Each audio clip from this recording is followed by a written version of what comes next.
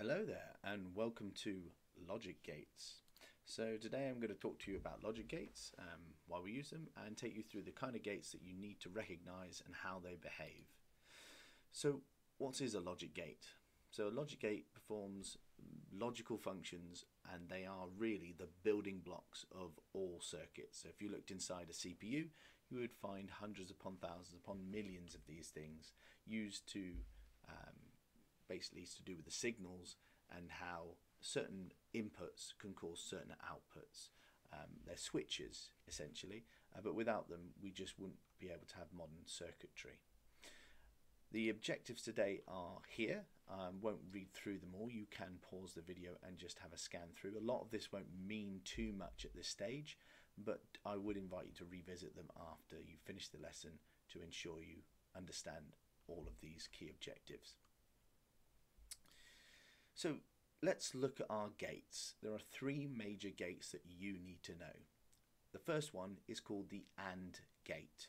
Now it looks like a big capital D. So the a little way to remember this one is the word AND. The big letter D on the end of AND looks very much like the gate looks if you were to draw it as a diagram. Now AND gates can have two or more inputs, but all gates will have one output. So if we were to have um, some kind of input coming in here. And because we're talking about computers computers only know binary that's on or off that's one or zero. If there was an input coming in on this line and an input coming on on this line then the output would also be on. A good way to think of it would be like a two stage kind of switch on some kind of device. So you had to have both switches on for the device to be on. So when I start my car in the morning I have to fully press down my clutch pedal. That would be like a being on and I then have to press the ignition button that might be B being on. If I press either or on their own it's not coming on but when both are pressed it's coming on. So this is the way it behaves. Now up here is the truth table which is showing whether the inputs are on or off and what is happening here. So we call this a truth table. So when both are off the AND gate is off. When one of them is on it's still off. When the other one is on it's still off. But when we have a condition where both of them are on, then this gate is triggered on. So that is the AND gate and how it behaves. So now I'm going to get you to build that in a nice website called uh, logic.ly. So we're going to need to go to logic.ly. and It looks a bit like this. So on this site, you go to logic.ly, as you can see at the top here, and you're going to want to click free trial. You'll also see then here this link try Logicly in your browser. Don't click these because this would install something. Click here. You'll then get this. You can close this straight away. And we've now got some things which we're going to recognize, particularly our AND gate. So you can drag out the AND gate. You could drag out a couple of switches like this. You could then uh, drag in a light bulb, which can be our output. And then we can start to connect these together. So here's our two switches there. There's that, that and we've made a simple AND circuit with two switches. You'll see if I switch on A, nothing. If I switch on B, nothing. But if I switch on both, hey presto, we have a light bulb. So what I'd get you to do now is pause the video here and build this circuit and make sure you've got it working before you continue. So have a go at that first. Okay, so our next gate is called OR. Now the OR gate behaves a little bit differently it will trigger if any of its inputs are on. So here in the example, if I have both of them off, this is the time the OR gate is still off. If I have one of them on, it is on. If the other comes on, it is on. Question is, what when they're what happens if they're both on? And a lot of people would guess this incorrectly because they think the word OR means one or the other. But in this case, OR will come on if any come on. So because any of them are on, and that means, well, both of them are on, that means it's on. So you think of this as a light switch with two switches, and either of them is going to trigger the light switch. So let's take a look at that in um, logic.ly.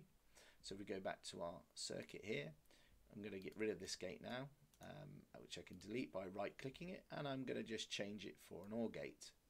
I'm going to just slide in the connections like so, connect it up and now you can see it's on because I've left my switches on but if I turn both switches off it is off. Turn one on it's on. Turn the other on it's on. Turn both on it's on. And that's how an OR gate behaves. So have a go at building that one. You can do it underneath or you can replace it like I did.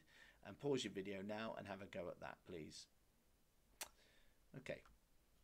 So you should be back and we're going to look at the last gate you need to know about. This is called logic not now, the NOT gate, like its name kind of suggests, does the opposite of what's going on. It only ever has one input.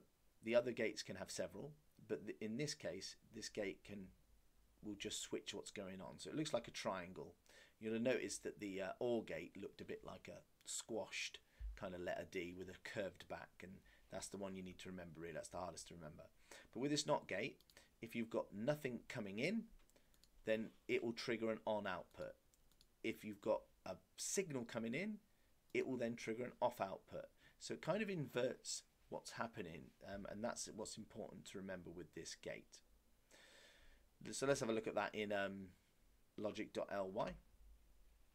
So if we come in here, we only need one input for this one, so I'm just going to build a quick new circuit, get our NOT gate here, get a new light bulb, and when I connect this together, you can probably predict, because it's already off, that when I connect this together, psh, on comes the light.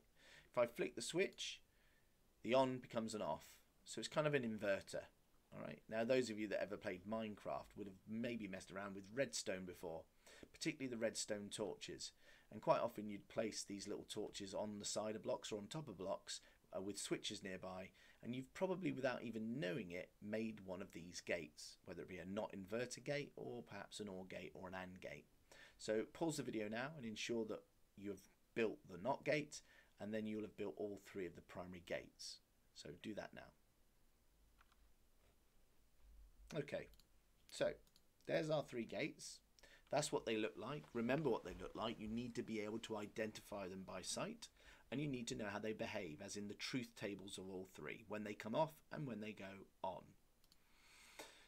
Quick task for you. I want you to go to logic.ly and I want you to build the gates but with three inputs. I'll just show you how you can tell logic.ly to do that. So if you go into logic.ly and you grab any of these gates, so this, this gate here, you'll see down in the corner, um, you probably can't quite see, there it is there, down in the corner you'll see um, the uh, count of inputs and you can increase that to three. So if you do that for both the gates, you can then connect it up together. What I'd like you to do, going back to the slides, is I'd like you to build those gates and then predict almost, so if I just go to the next slide, I want you to predict then what you think is going to happen. Now we have three inputs so you can see the truth tables bigger because these are all the different combinations you can have of of these three things being on and off. I'd like you to predict without building them first what you think the outcome will be. Once you've had a guess, so you can sketch this on your whiteboards that you have, or you can get a piece of paper and write it down. I only want the hidden bit, you don't need to do the whole table. Once you've had a guess, I want you to then build it in logic.ly and then see what the result is. Pause the video now and have a go at that task. Make sure you understand what you're being asked to do before you do so. And then when you have done and you've got your full result, then continue to watch the video and see if your results match up with the real results. Do that now. Okay, so here's the results. So we can see in the first case, like the AND gate, you would hope you'd have predicted this. It's only coming on if all three of those inputs are on. Okay. And with the OR gate, any instance where any of these are on or several are on are going to cause it to be on. So we should have got a situation where it's nearly on all the time except for the time where all three are off. Now sometimes you can have multiple gates connected together like we've got here. So we've got a not inverted on this AND input. I'd like you again to repeat that process of having a guess as to what this will do and when you've had a good guess and you've jotted down what you think is here, build the circuit in logic.ly and test to see if you're right. Pause the video and have a go at that now. Build this and predict what this does. Do not hit the switches in logic.ly until you've had a go at thinking what it might be first. Off you go, have a go at that now. Okay, so this is the result you should have got. The only time this is coming on is when A is on and B is off because the not will then switch it to on. So they're both on then. So the only case in which where this gate's going to trigger on is when A is on and B is off. So you should have got that as your answer. Have a look at a slightly bigger, uh, uh, more complex problem. Here you go. So work this one out through, first on a whiteboard or on some paper. Once you've had a go and you think you've got a result, build it in logic.ly and then see if your answer is correct. Pause the video now and have a go at that task. Okay, so here's the results then. So this is going to come on if C is ever on. Because this is an OR gate, C will always trigger it. So the easiest thing to do is to go down the column of C, and wherever C is on, then Y will be on, so the output will be on. The only other time this gate will be on is if A and B are on. And there's only two times that happens. Well, we already know it's on when C's on, but this one here where C is off, it will be on because A and B are on. So there's the final pattern for you, and hopefully you got that. If not, do go back over it again and make sure you understand. Some extensions which you can look at. There are some kind of special gates, and what I'd invite you to do now is to try and figure out their behavior and then discuss that with the teacher, um, whether that be in class or um, if this is remote learning um, via some kind of chat. Uh, I'll show you the gates locations in um, logic.ly and then you try and hook them up together and see how they're behaving and why they're a little bit different to the other gates that you know. So in logic.ly, um, what you can see is we've got the NOR gate, the NAND gate here, and we've got XOR gates. I'd like you to kind of string them together and figure out why they're a little bit different and what they might be doing compared to the other gates. Okay? So, going back to here. Um, I'm particularly after, by the way, what the X or N actually stands for. So if you can kind of figure out what you think that stands for, that'd be interesting. That's a conversation you can have with the teacher in the lesson. So we've gone through those gates. Um, I would ask you at this point to probably have a pause and maybe have a think about, and apologise that my background keeps going out, but there's nothing I can do about it. Um, I would like you to have a look at why you think these things are really used. I've already kind of had a little bit of a chat at the start of the video to kind of say that they're needed, but have a little research task, maybe have a couple of minutes and see the kind of things logic gates are used for and why we need them.